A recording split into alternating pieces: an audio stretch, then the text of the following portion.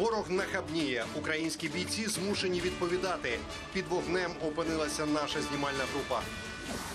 Мінімальна зарплатня, мінімальна пенсія, курс долара.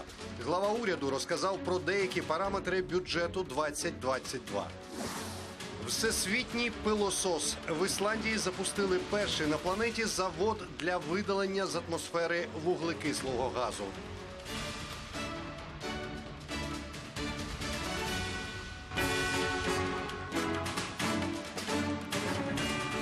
Вечір. В ефірі новини підбиваємо перші підсумки дня у студії Олексій Фадієв.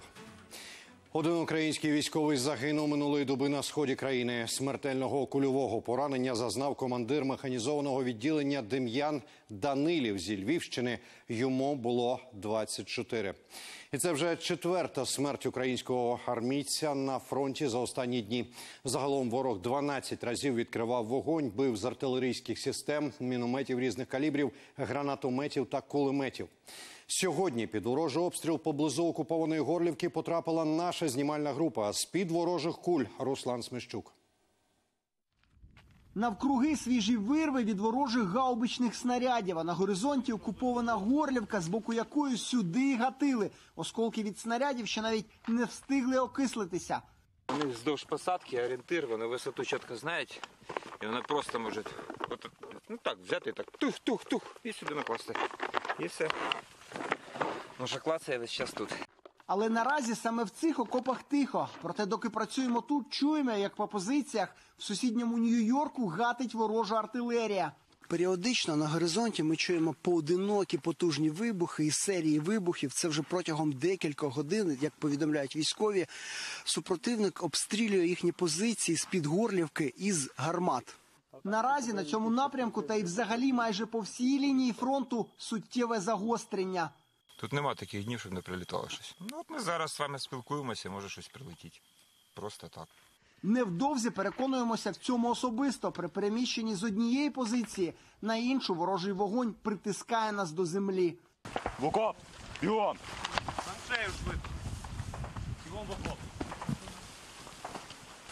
Це те, що я вам казав, на ровному місці.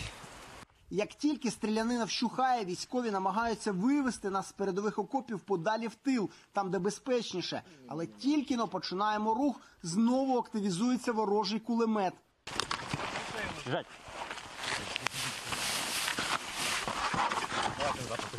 Тож доводиться хутко перебігати у більш захищену частину окопів, адже в будь-яку мить може прилетіти і щось поважче. Ну, от коли ми вже е, виходили з позиції, е, почалися поодинокі простріли, а потім досить щільні обстріли з е, кулеметів, тому нам сказали сховатися в укриття. І така ситуація небезпечна тим, що часто такі простріли це ніби як прикриття для ворожого снайпера. Проте цього разу просто перечекати, коли ворог припине обстрілювати українські позиції, нам не вдається.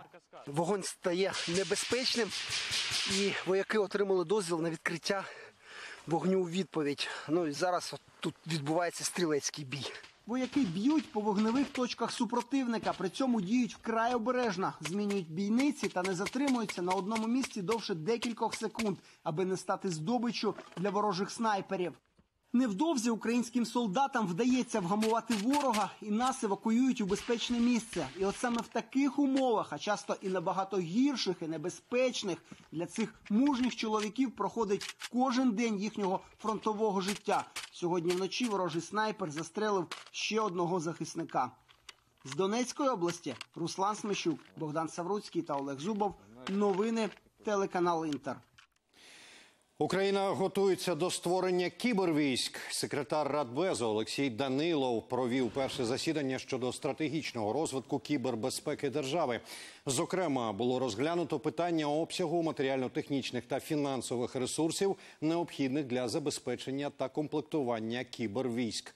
З урахуванням оптимального співвідношення військовослужбовців, працівників Міністерства оборони України, а також зарахованих у запас та резервістів.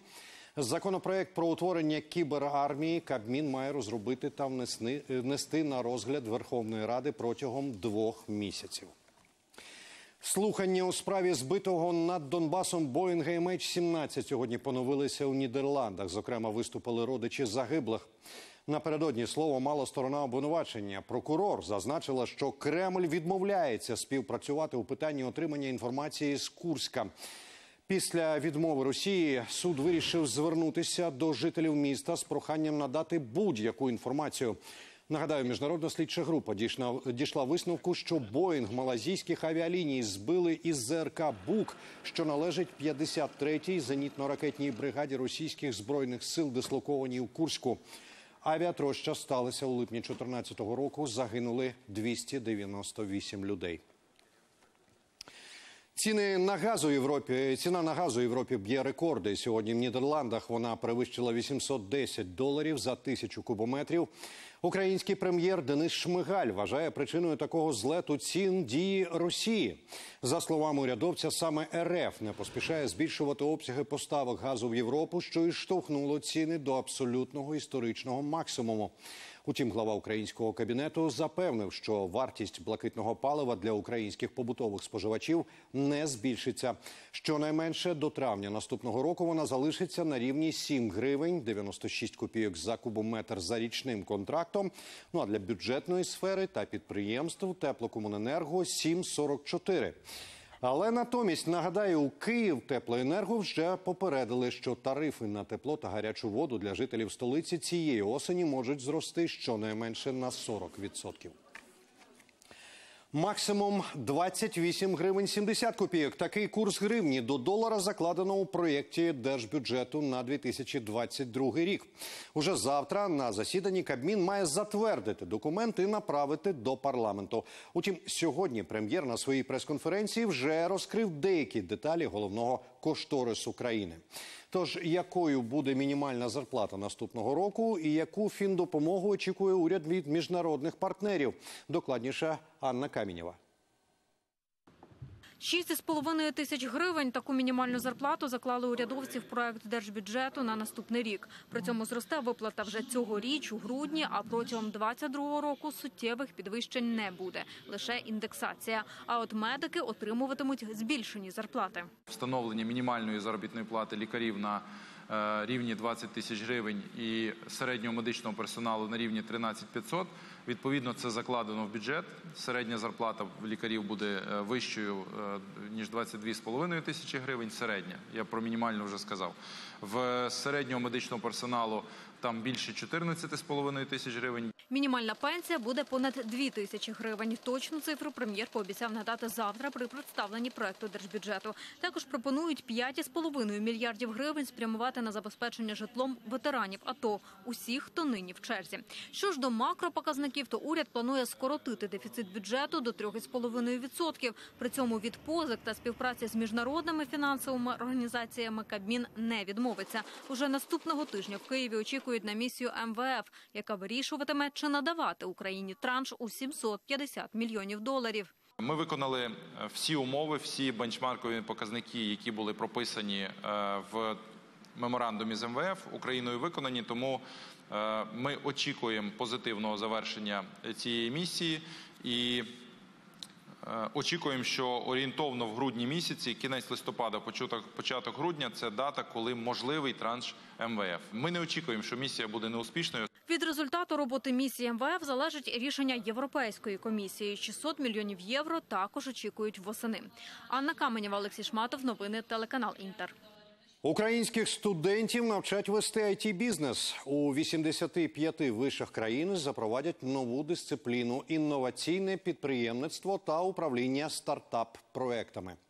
Новацію впровадять у рамках ініціативи Підприємницький університет за підтримки Агенції США з міжнародного розвитку.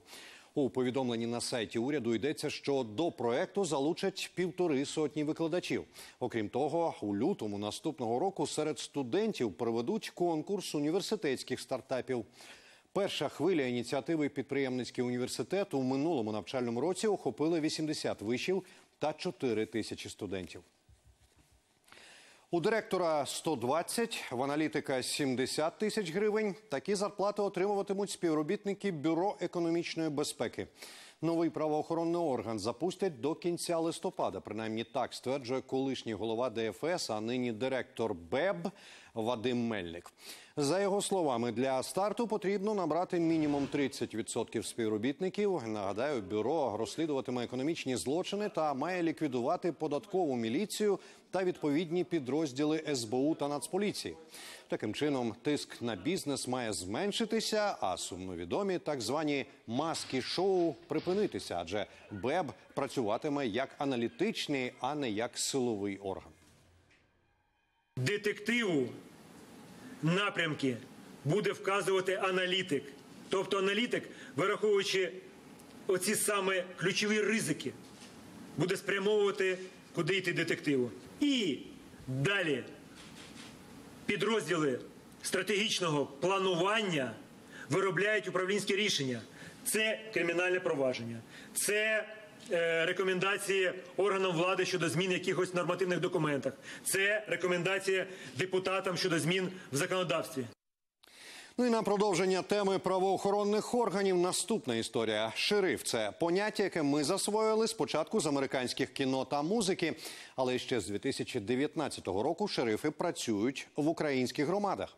Як приживається іноземний термін на вітчизняних чорноземах? Чим відрізняється поліцейський офіцер громади від радянського дільничного? Докладніше про це Тарас Пилипець. Щаслива полісменка Наталія оглядає свій новий службовий автомобіль, на якому вже незабаром вирушить на роботу в Київську область. дуже зручний е, для переїзду в сільській місцевості, так як це позашляховик. Наталія поліцейський офіцер громади. Цю посаду запровадили у 2019 році в рамках реформи правоохоронної системи як альтернативу звичному дільничому. Але різниця не лише в назві. За аналогією, офіцер громади чимось нагадує американського шерифа, де мешкає, там і працює. Тому й витрати на його утримання лягають на плечі саме громади. Надали мені кабінет, оргтехніку забезпечили, тобто немає потреби е, в оргтехніці, канцелярія все повністю забезпечує ТГ. Поліцейський не відволікається, крім е, патрулювання, забезпечення публічного порядку та допомоги громадянам на території, на якій він працює. Новоспечених поліцейських офіцерів громад у центрі Києва зібралося 86 із 9 областей країни. Копи отримали табельну зброю та ключі від новеньких авто. Нині службу несуть понад 600 таких українських шерифів. 130 іще навчаються. Пройшло три роки. Ми вже обслуговуємо 6 мільйонів населення. Більше 4400 населених пунктів ми вже на сьогодні на сьогоднішній день обслуговуємо поліцейськими офіцерами громади. А їх в Україні майже 30 тисяч. Тому робота ще попереду.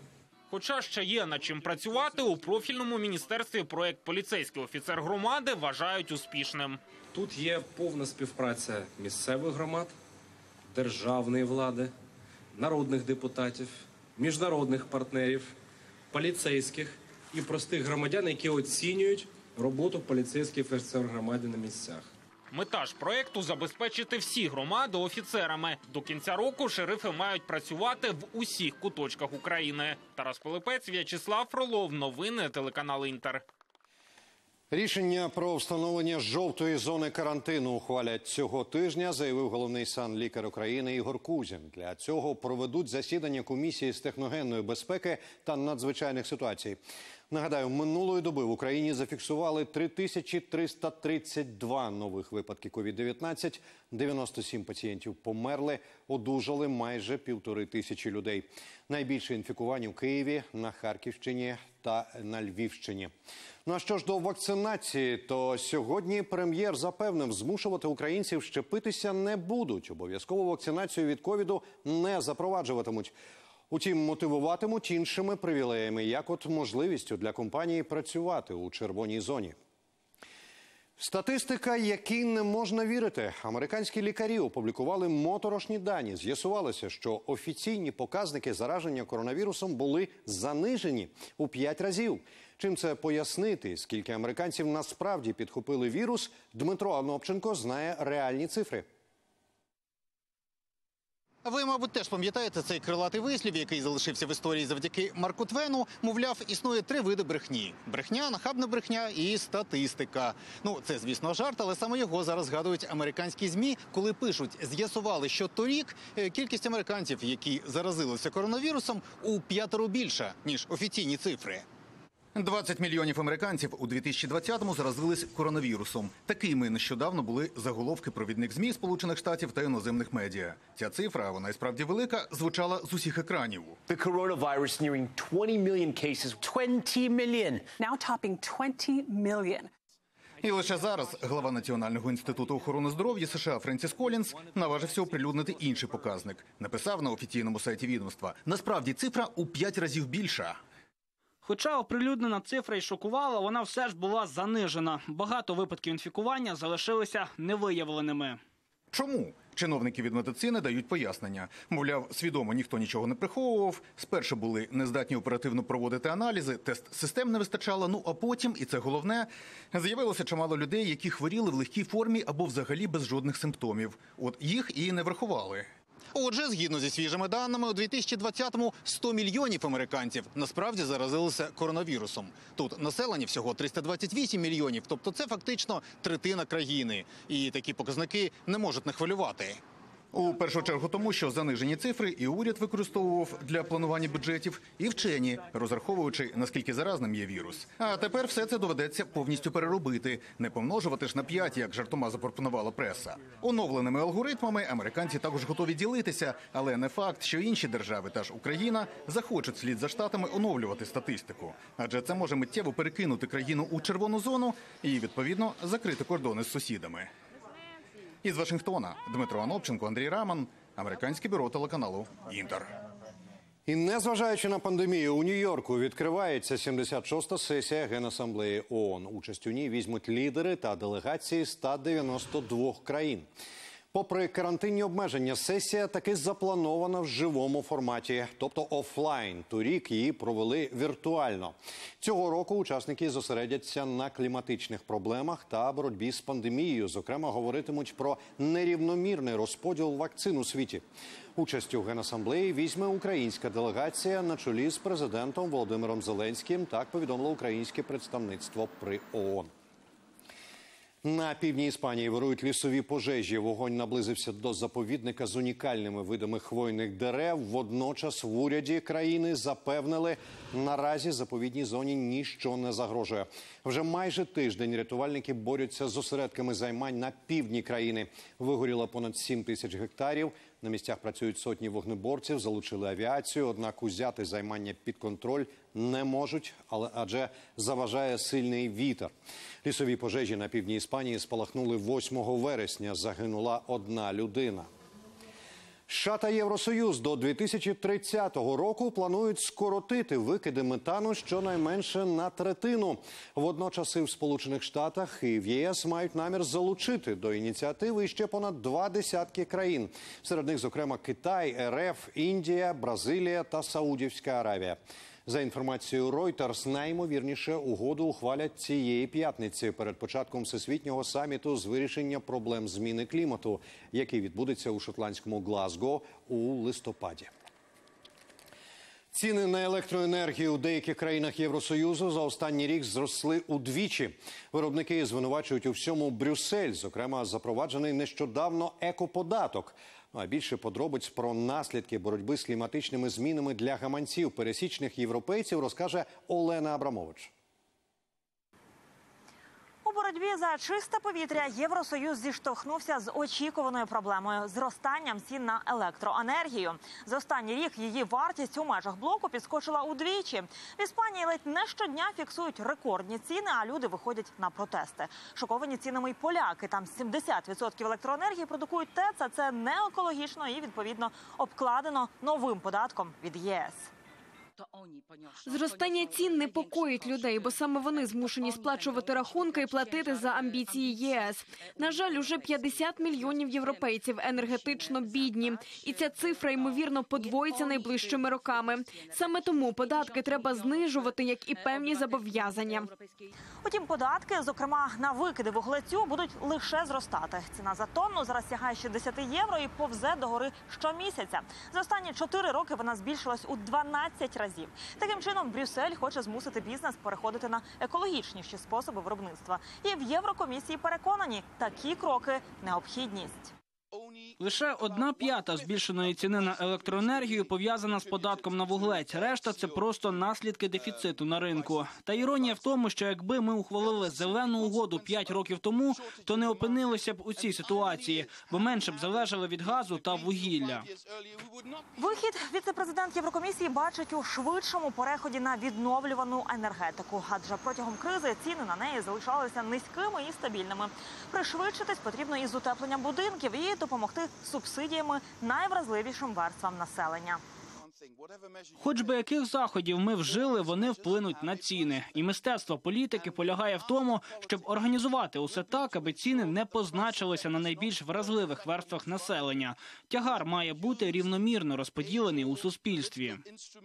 Назад відступати нікуди, інакше на наших дітей чекає екоцид. Загибель внаслідок екологічних проблем, заявив Франс Тіммерманс. Кожен кіловат електроенергії, отриманий шляхом спалення вугілля, буде тільки дорожчати, як і решта продуктів, виготовлених неекологічно.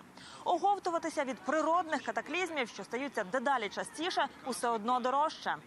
2020 був найспекотнішим роком в історії Європи. Із 1980 по 2019 рік понад 85 тисяч людей у ЄС загинули через екстремальну погоду і події, пов'язані з кліматом. Подолання наслідків лиха коштувало Євросоюзу 490 мільярдів євро за останні 40 років.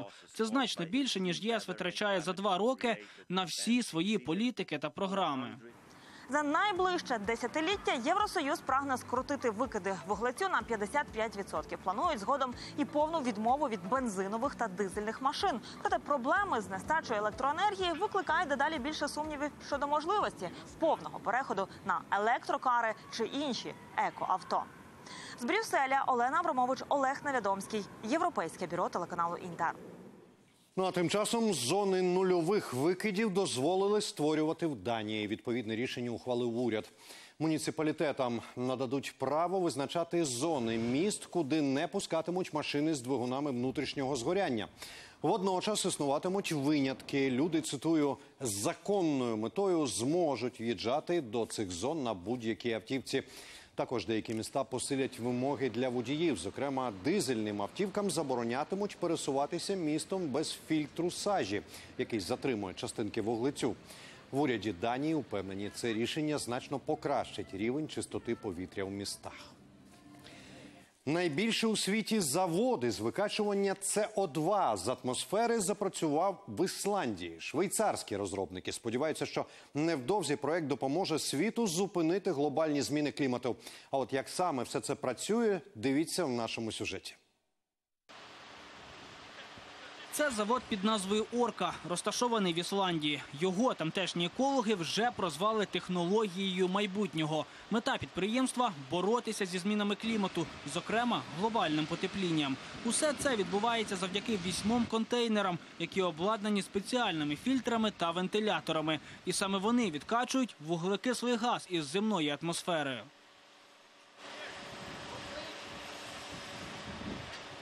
Розробники стартапу швейцарська компанія Climeworks. Один із її засновників розповідає, пишається, що вдалося звести найбільший у світі завод із очищення повітря. Ми нещодавно ввели орку в експлуатацію. Це найбільший такий завод у світі. СО2 ми закачуємо під землю. Там він змішується з різними гірськими породами та просто перетворюється на каміння. Це стається впродовж двох років, і саме тому ми можемо називати цей метод нині найбезпечнішим і найвдалішим з вилучення вуглекислого газу із атмосфери. Щороку завод відкачуватиме близько 4 тисяч тонн СО2, що еквівалентно щорічним викидам майже восьми сотень автівок. Розробники проєкту зазначають, розуміють, що наразі лише один завод не здатен глобально очистити повітря. Однак в разі популяризації проєкту у світі із викидами в атмосферу можна успішно боротися. Ми вже плануємо масштабувати орку. Ми збираємося збудувати завод у десятеро потужніший за цей. Відповідно, він у десятеро більше поглинатиме СО2. Нині вже є багато інвесторів, які готові допомогти нам, аби ми змогли викачувати 1 мільйон тонн вуглекислого газу. І поки деякі екологи підтримують і вірять у стартап, інші ставляться скептично. Бо на думку міжурядової групи експертів зі змін клімату для уникнення найгірших наслідків глобального потепління світ до кінця століття має вилучити з атмосфери від 100 мільярдів до 1 трильйону тонн СО2. Володимир Кулаков, новини, телеканал Інтер. Чергова партія SpaceX запустила в космос 51 інтернет-супутник Starlink. Запуск ракетоносія Falcon 9 відбувся на космодромі космічних сил США у Каліфорнії. Із травня 2019 року це вже 31 виведення супутників Starlink. Загалом на орбіті їх уже понад 1700, Однак цього разу SpaceX доправила на орбіту оновлену версію. Вони обладнані лазерними лініями зв'язку, що дозволяє супутникам мінімізувати втрату часу при передачі даних через наземні станції. І це всі повідомлення випуску. Мої колеги вже готують для вас подробиці з остаточними підсумками дня. Вони вийдуть в ефір о 20-й. Не пропустіть. Я прощаюся до завтра. На все добре.